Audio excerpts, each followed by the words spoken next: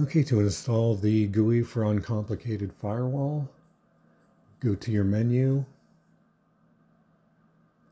go to Preferences and click Add Remove Software.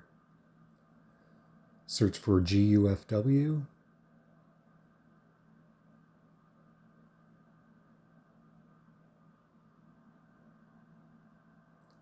Click the checkbox.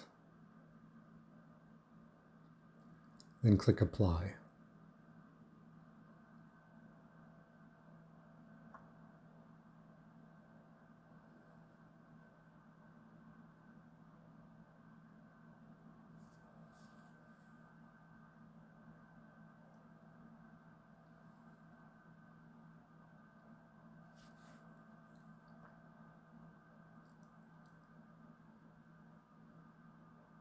When it's done, you can close Add Remove Software.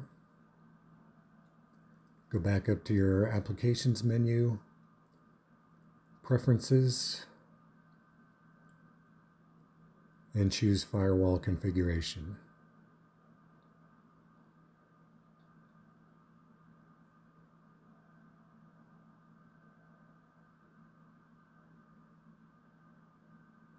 This is your status screen, shows your profiles, um, the default incoming deny and outgoing allow.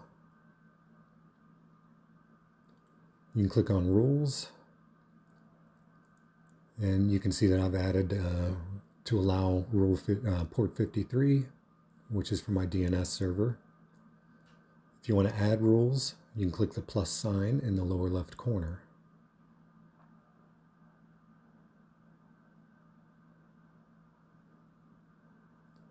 You can view the uh, pre-configured tab or click the simple tab. And here you can just uh, give your rule a name.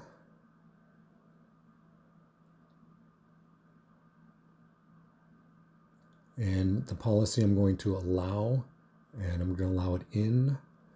And for my protocol, I'm going to choose TCP port 80.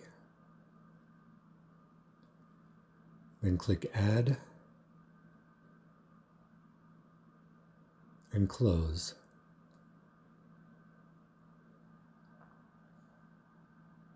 And you can see in the rules I've got port 80 for both IP4 and IP6.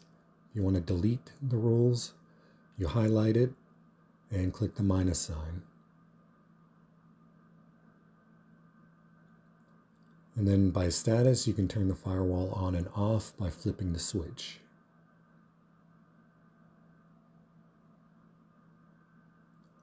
That's all there is to it. Thanks for watching.